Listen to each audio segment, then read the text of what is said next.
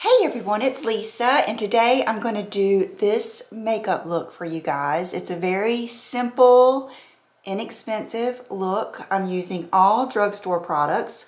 Yesterday I went to a Walmart that I haven't, I think I've only been there one time and that was when we were doing like home stuff. But I went across town, went to a new Walmart, went through their makeup section, went through their fashion section. That will be coming up, I believe, this weekend. And I got some new products. I got a new bronzer and the main focus of my shopping was pink lipsticks. I wanted to get a good pink lip and I think I have done it. I wore this makeup yesterday. I loved it. I loved it all day.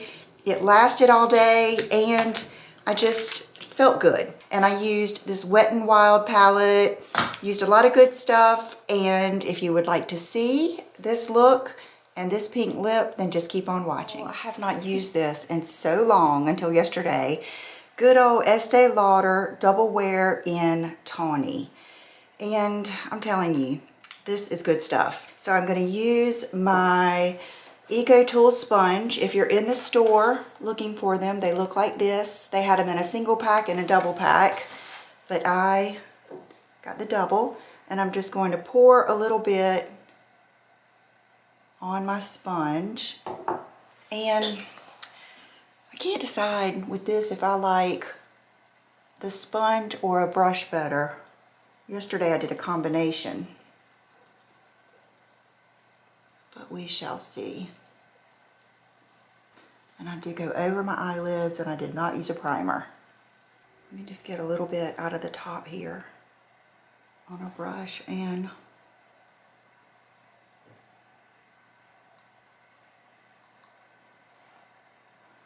get around my nose. This is the L'Oreal Infallible, one of my favorite concealers no matter drugstore or regular. See how the tone is brightening?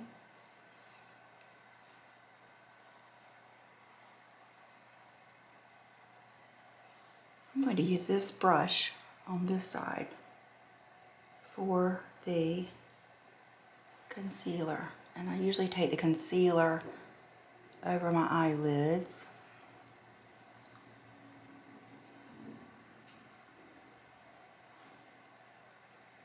I'm just going to do the whole forehead with this. Wow, I like that.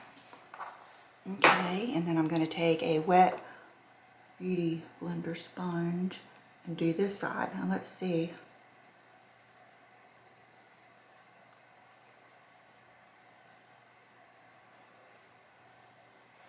Which side looks better? I always feel like a brush takes away, but I think the brush side looks good, doesn't it? The Maybelline Fit Me Powder. This is good stuff. This is good stuff. It's, it's right up there with Laura Mercier and everything else. Now, I could use a puff with this, or I can use a sponge. Got it on my puff, but I'm going to pat it off and work it in. And I'm gonna Wow, okay. Told you, this powder is, I mean, it really has coverage and smoothing capabilities. My goodness. Okay, I'm definitely going to have to spray though. And this is, you know, I would consider this full not necessarily full glam, but this is going to be your last all day full coverage makeup. I'm going to wait until I do the rest of my makeup because if I spray it now, then I risk my bronzer and my blush kind of sticking. And I don't want that to happen because I want you to see how amazing this bronzer is. Okay, so let's get a big fluffy brush. And I'm going to start with the just good old butter bronzer first because I want that warmth, but I'm going to not go for a real bronzy look. I'll show you. So I'm going to just go lightly around my hairline.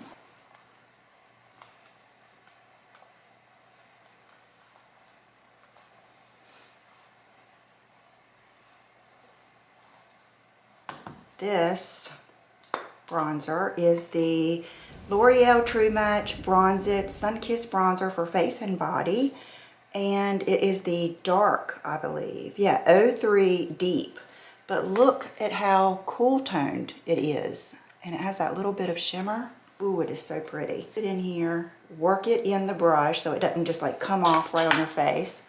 And the other bronzer, I used the brush kind of like that for more sculpting. This I'm using all over. I'm going to use it on my jawline especially. Snatch that jawline. Now for blush, I'm going to use my favorite Milani Luminoso. And let me use a different brush. Let me use a angled smaller brush. And that will serve as your highlight and blush.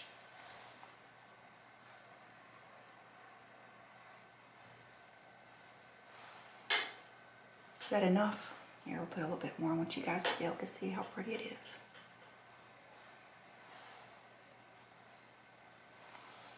There we go. So pretty. See how that got rid of a lot of that powdery look and now it just looks good. Okay, now we're gonna do the lip. That's okay, so the lip liner is Magnetic Mauve. This one and Totally Toffee, must-haves, just must-haves. So we're gonna take this and I have a little foundation on my lips. That's fine, I like that actually.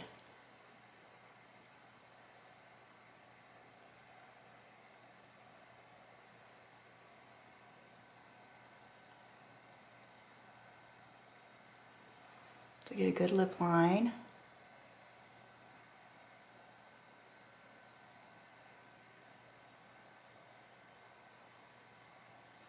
Revlon. Revlon has always had good lipsticks. And this is a new one. It's a cream, 762 Flushed. Look how pretty. Has a good, it says a cream, but it really does have like a, a sheen to it. It's not flat at all.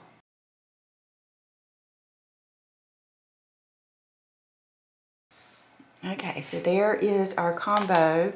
And after I did it, I thought about it for a minute and I thought about this one that I picked up, which is the Wet n Wild 503C Will You Be With Me? And this one is a, it's one that you probably would not wear on its own unless you just really like light frosty lipsticks. So that is what we've got going here. So pretty. Another thing I got when I went to Walmart is this nail polish. And I used it. I love it. It's kind of a, it's called Suzi and the Arctic Fox. I think it's popular because this came out years ago and they kept it around. But it is not as harsh as black and it's got that little purpley gray undertone. I think it's really pretty. Now let's do a brow. I love this brow by e.l.f. Okay, and what I do is, I've kind of changed it up a little bit. I do a little bit darker than I used to, but I don't brush them up first. So I'm not going outside of my brow line. So watch what I do. So I'm going a little darker and then I'm coming down.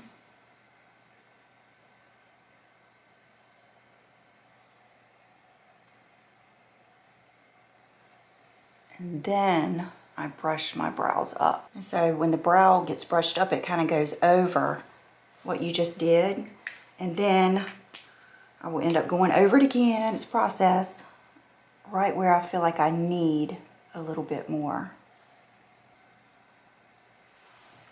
Okay, like that. That way they're shaped and shaded a little bit, but not too stark.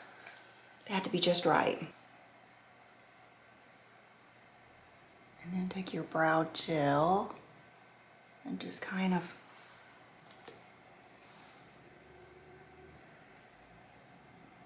lock them in place. Whatever, whatever you like, I think even clear mascara can work. Let's start with the eyes. I really wanted to do a really 90s cool tone palette. I could not find one, but when I saw this, I just thought that just looks like a good palette. It's the Wet n Wild Color Icon uh, Nude Awakening. Something tells me I might have tried this in the past, but it's a new day. We're gonna try it today. I used it yesterday and it was amazing. This color here, just that good taupey brown and go into your crease wherever it is. I'm going to go maybe a little bit higher because I'm wanting to recess this bone.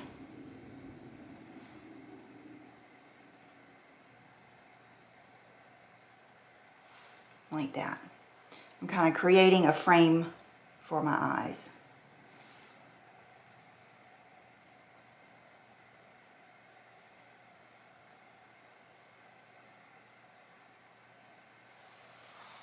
like that. Smaller brush in the same shadow. If you kind of work it in the brush, it helps with not having fallout. And I'm going to do my whole lower lid. Like that. Now I'm going to use a new eyeliner by Hard Candy.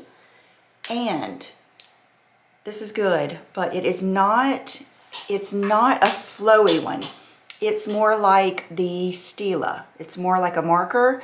So if you like a swoopy wing, this might not be the one for you. This is going to give you more of that, um, I would say like a Guess Ad model straight wing. So that's what we're going to get here and then we'll finish with the eyeshadow.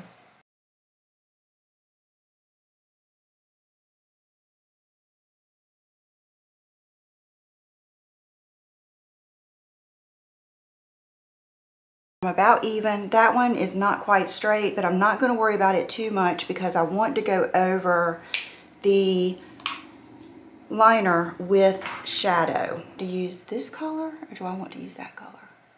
Let's use this one. This makes a big difference to me. Just go along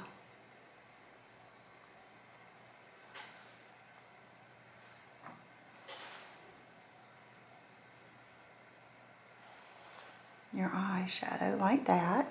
And when you get to the end, kind of flick up.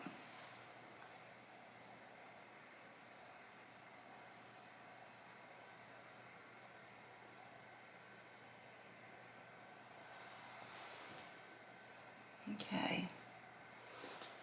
Keep this out. Now I'm going to take a smaller brush and I'm not going to go, that color is pretty pigmented. I'm going to go into, let's go into this color again and just a little bit of that.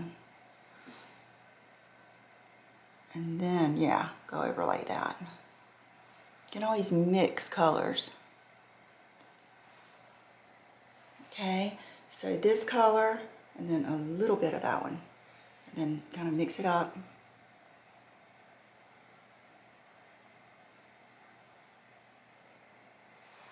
Like that. And let's do this. Can you see? Yeah. Let's do this on the inner corner.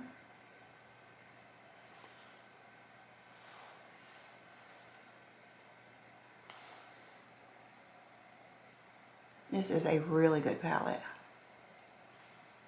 Very, a very good everyday palette.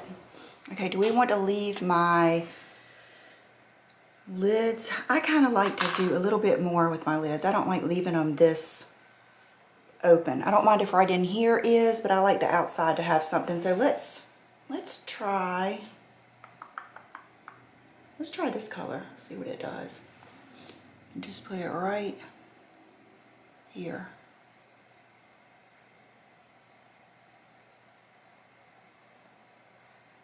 Mm.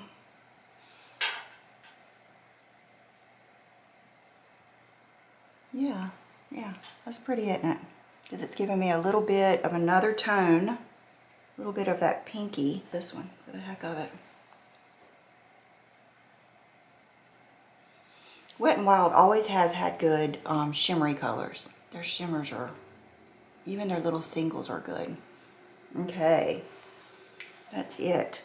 Now I'm going to wipe that off again. And I'm going to take this, I think this is a matte. I'm going to just clean up that top.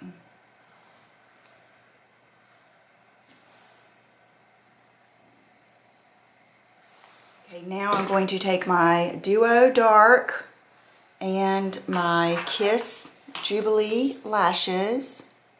Favorite mascara, L'Oreal Bambi. Oversized eye.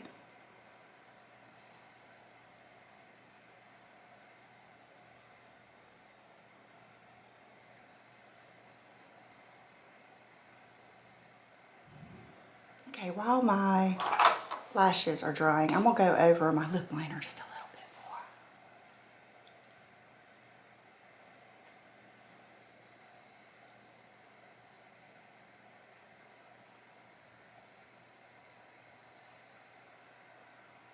Yeah, because I like that, I like that look, kind of like a flower. Think of a hibiscus or something that's darker on the edges and fades to a lighter color in the center or even sometimes a different tone. Oh, that's the best.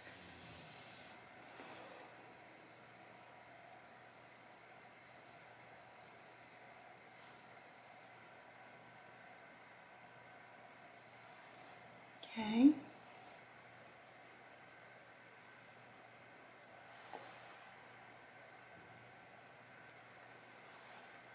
There we go. I feel like, have I been too close the whole time? That is the final look. And I loved it all day yesterday. And I hope you guys enjoyed this. I hope that you saw some things that you like. I would say the lip combo, without a doubt. I did get some other good lipsticks. Let me show you. I don't think this is going to take too long. Okay, I got the Aromatic Rose number 720 in the L'Oreal gorgeous. I put this on on the way home that day. See, it is another beautiful pink, but it is more of a matte. It's a matte formula, soft matte. Okay, and then I got two more of the Revlons that are new. This one is called uh, Pink Promise. It's number 778, and this one is kind of a loud one, but I'm going to play with this and see what lip liner it would look good with because I think it would look good with like a, almost like a burgundy or a wine lip liner. And then this one is called Secret Club. That's, that's us. We have our own secret club. Okay. Oh my gosh. Okay. Secret Club. Mm. That, okay. I can't mess this up now because I like it too much. But Secret Club is another one that you need to get. Definitely. And I love this. Love it. Just a good one. A good one. A good little little session here. So I hope you guys enjoyed it. Thank you to Walmart for sponsoring this video and I will see you next time.